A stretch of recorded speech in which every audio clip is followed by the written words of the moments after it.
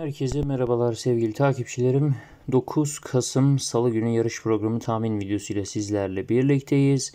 E, Adana yarışlarıyla sizlerleyiz bu videoda. İlk koşu 12'de başlayacak. 12 e, safkanın start alacağı 10 e, koşulu programın ilk yarışı. Meydan 3 yaşlı Araplar 1300 metre çim pistte koşulacak bir yarış bizleri bekliyor. Arkadaşlar bu koşuda iki tane safkan bizim için ön planda. Ama özellikle biri isterseniz bu ismi tek de atabilirsiniz. 6 numaralı Külünçe Güzeli. Arkadaşlar 54 kiloda çok güzel bir kiloda start alacak olan Safkan son 4 yarışında da tabela yaptı. Bunların 3'ünü çimde koştu ve 3'ünde de 3-4-2 şeklinde gelen güzel e, tabela başarıları elde etti. 1.29.40'lık da bir derecesi var. Bu Safkan'ın yazmamak için hiçbir sebep göremiyorum. Yanına düşünenler için İki isimden birisini tercih etmenizi önereceğim. Ya 4 numaralı Serbaş'ı deyin arkadaşlar. Serbaş 4 numaralı Safkan son yarışını kötü koştu ama ondan evvel bir üçüncülüğü var ve 1.29.37'lik derecesiyle birlikte aslında burada 4 numaralı Serbaş 6 numaralı Külünçe güzeline e, yaklaşabilecek olan bir Safkan olduğunu bize gösteriyor. E, nitekim derecelerin birbirine yakınlığını görüyorsunuz. 1.29.37, 1.29.40. Yani sadece e, Serbaş bu koşuda iyi koşacak mı koşmayacak mı kısmı bizi e, etkileyecek olan bölüm. Üçüncü olarak belirteceğimiz isim ise arkadaşlar burada e, bir diğer e, Safkan son koşusunda üçüncü olan 7 numaralı Akkuş kızı tercih etmek isteyenler için yine bir opsiyon olabilir. Ya da e, bir hafta evvel koşan 8 numaralı Aringül'ü ama Aringül'ün sadece çimdeki bir dördüncülüğüne bakarak e, bir karar vermek zor olacaktır. Yine de sürpriz ihtimali olarak düşünenler varsa bu atı yazabilirler. Şimdi bu incelemeyi yaptıktan sonra ben size önerimi söylüyorum. 6 numara kesinlikle kuponda bulunması gereken safkan. Yanına yazılacak at konusunda ise ben kendimi sağlama alayım diyenler e, 4 numaralı serba, serbaşı kesinlikle yazsınlar. 4 numaralı safkan. E, yanına ya 7 ya 8 3 tane safkan yazılarak burası geçilebilir. Veyahut da e, daha risk almak isteyenler 6 numara garanti deyip yanına e, 8 numaralı arın gülünü yazabilirler. Tabi ganyanları bilmiyorum. Ne olur ne biter bilinmez. Ona göre e, bir tercih yaparsanız bu koşuda iyi olur. Dediğim gibi 6 herkesin kuponunda bulunsun arkadaşlar bu koşuda. İkinci yarışa gelelim. 12.30'da koşulacak olan 9 safkanın start alacağı 1400 kum şart 4 3 yaşlı İngilizlerin koşacağı koşu bizleri bekliyor. Arkadaşlar 1.28-26'lık e, derecesiyle birlikte rakiplerin içerisinde bu mesafede hem de bu pistte en iyi dereceyi elde etmiş olan ve bir hafta evvel yarışını koşup kazanmış 56 kilo gibi rahat bir kiloda koşacak olan bizim de bir önceki koşusunda önerdiğimiz Efe'lerin Efe'si diyoruz arkadaşlar. Yine bir tek önerisidir. Bir önceki koşuda nasıl tek önerisi olarak söyleyebildiysek burada da bir numarayı tek olarak söyleyebiliriz arkadaşlar. E, açıkçası bütün şartlar onun lehine gözüküyor. Ama bir sürpriz gelebilirse bu koşuda gelebilir arkadaşlar. Ona dikkat etmekte fayda var. Şimdi bu isim çok formda, çok hazır. E, yani bütün oklar bu safkanın galip geleceğini gösteriyorken biz burada diğer safkanları e, es geçebiliriz demek değil bu. Nitekim bu safkanlar içerisinden iyi olanlar var. Örneğin 2 numaralı safkan Miss Petay son koşusunda 7. oldu 3 hafta evvel. Ve aradaki bu 3 haftalık sürecin ardından şu anda safkan daha hazır vaziyette gelecek. Çünkü artık bu 7. ligde artık ne sorun olduysa onu gidermiş vaziyette koşacaktır. Ee, kondisyon problemi yaşamayacak ama şöyle bir sıkıntı var en iyi derecesinin 1.30.08 olduğunu rakibine kıyasla 1.28-26'ya kıyasla geri planda kaldığını görüyoruz. Tabi farklı bir pistte elde edilmiş derece o yüzden çok da olumsuz yaklaşmamak lazım bu safkana. Ama yine de aklınızda bulunsun. Ee, yani eğer bu atın ganyanı arkadaşlar böyle uygun olursa 6-7 lira gibi 8 lira 10 lira belki olursa yani hani yüksek şey olursa bize para kazandırma potansiyeli olursa o zaman 2 numarayı yazalım derim. Ganyan'ına göre bakın eğer para kazandırma potansiyeli varsa bu ismi e, sürpriz hanesi olarak düşünerek e, yazabiliriz ama bir numara kesinlikle bulunacak kuponda.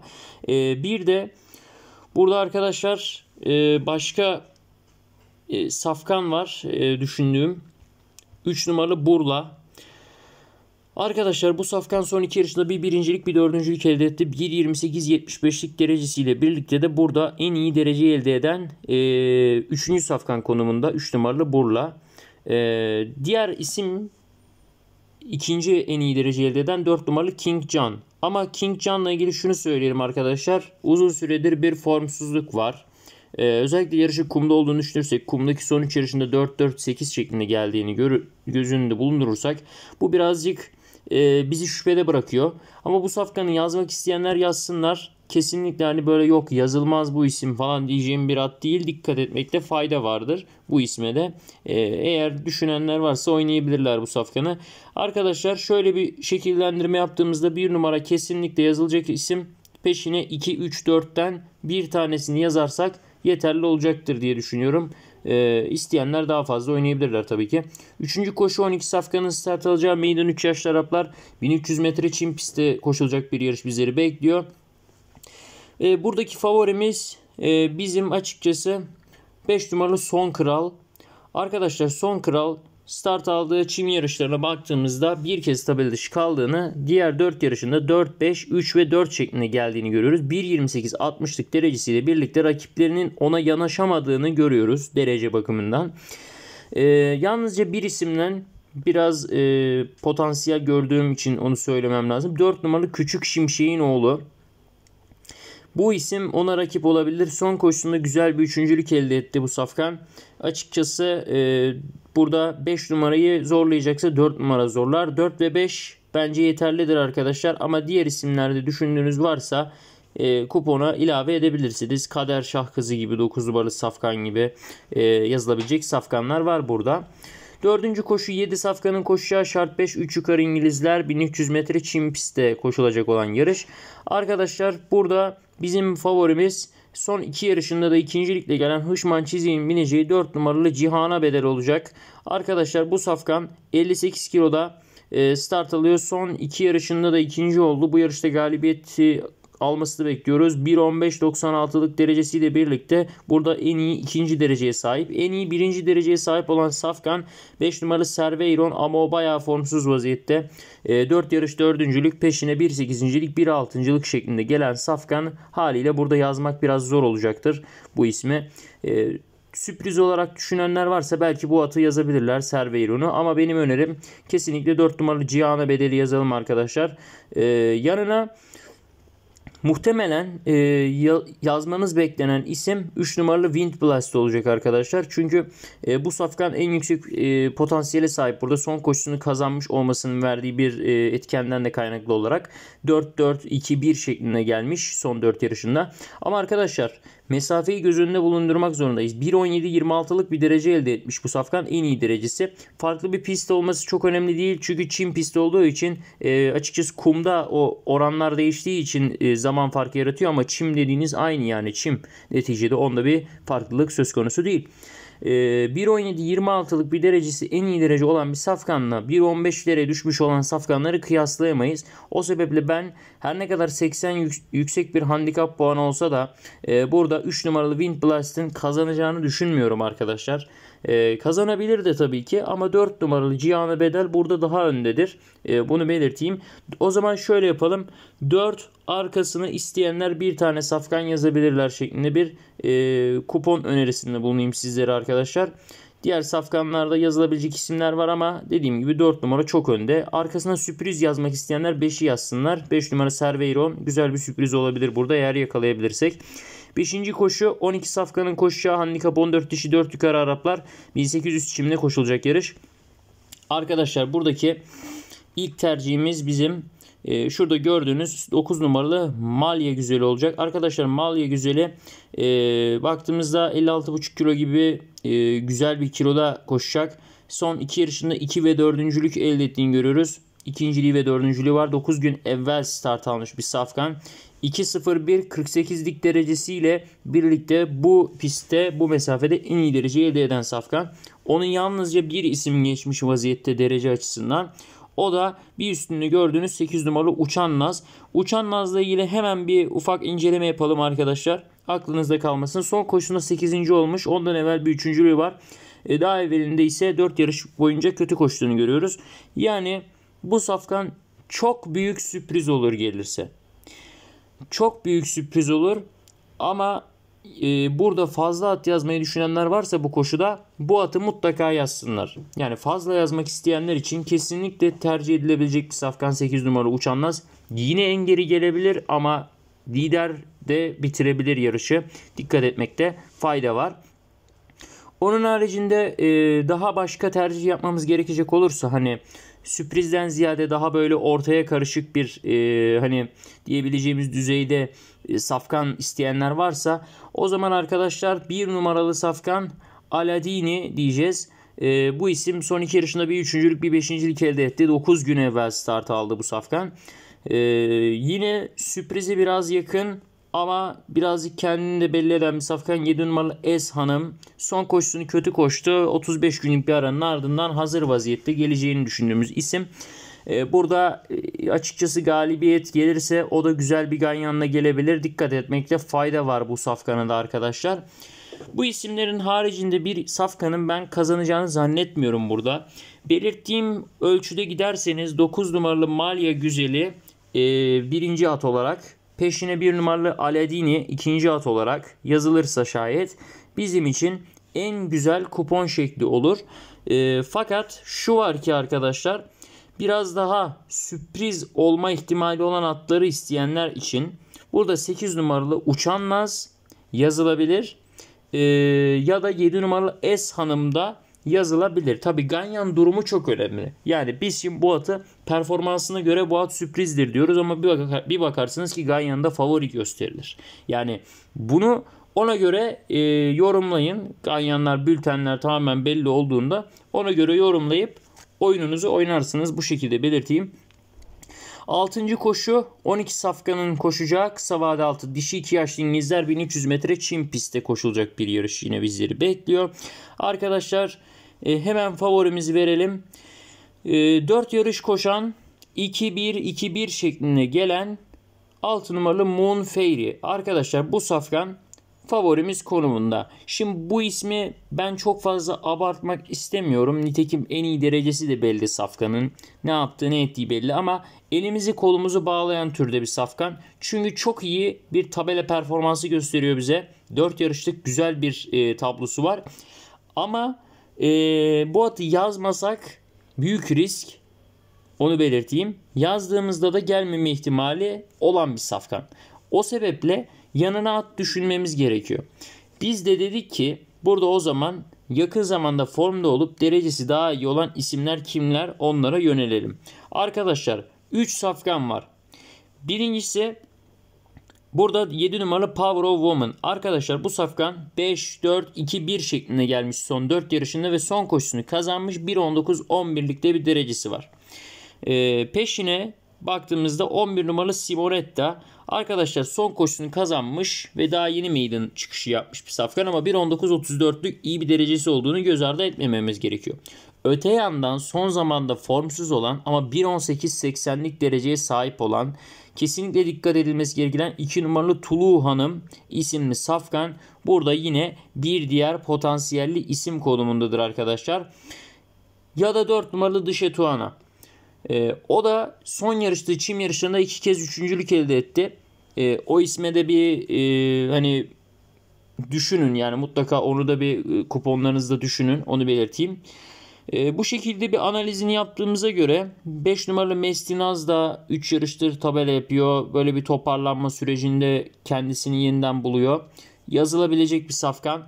Arkadaşlar e, burada açıkçası şunu belirteyim. Şimdi bizim için derece çok önemli vaziyette burada. Tabi Atat'la birlikte koşar. E, grup düzeyi çok fark eder eder ama 1300 metre yarış yani ona çok dikkat etmemiz lazım. Şimdi 1300 metre gibi kısa bir yarışta e, yok bu at daha e, şey e, daha iyi durumda o yüzden bu at geçecektir demek ile kısa mesafeci bir atın e, kesinlikle geleceğini söylemek arasında büyük fark var. Şimdi burada baktığımızda 1.19'lara düşmüş hatta 1.18'e düşmüş bir safkan da var. O yüzden bunlardan tercih yapmak zorundayız. Fakat dediğim gibi kalitesiyle yazılacak bir isim varsa o da sadece 6 numaralı Moonfairy'dir. O zaman ne yapıyoruz? 6 numaralı Moonfairy'yi yazıyoruz bir kere. Tamam mı? Ondan sonra Bakın 2 numaralı Tulu Hanım. Ee, 11 numaralı Simonetta ve 7 numaralı Power of Woman'dan bir tanesini ya da iki tanesini yazıyoruz. İsteyenler bir tanesini yazıp yanına 4 numaralı Dışe Tuana'yı da yazabilirler. Çünkü o da formda geliyor. Ya da 5 numaralı Mestinaz yazabilirler. Toplamda 3 tane safkanla bu koşuyu geçeriz diye düşünüyorum. Gelelim 7. koşuya. 12 safkanın start alacağı bir yarış bizleri bekliyor. Handikap 17 3 yukarı İngilizler 2000 metre çim pistte koşulacak bir yarış.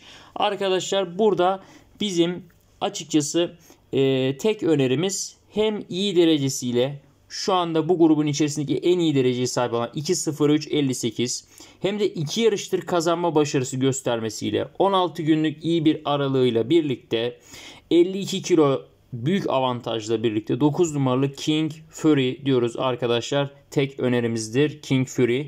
Ee, bu safranla ilgili fazla söyleyecek bir şey yok. Zaten hepsini belirttim. Rakip isteyenler varsa arkadaşlar beğendiğiniz herhangi bir atı yazabilirsiniz. Ama belirtiyorum tekrardan bu safkan şu anda hemen iyi dereceye sahip rakiplerin içerisinde. Ee, şurada bir 2.03.52 var ama farklı bir pist.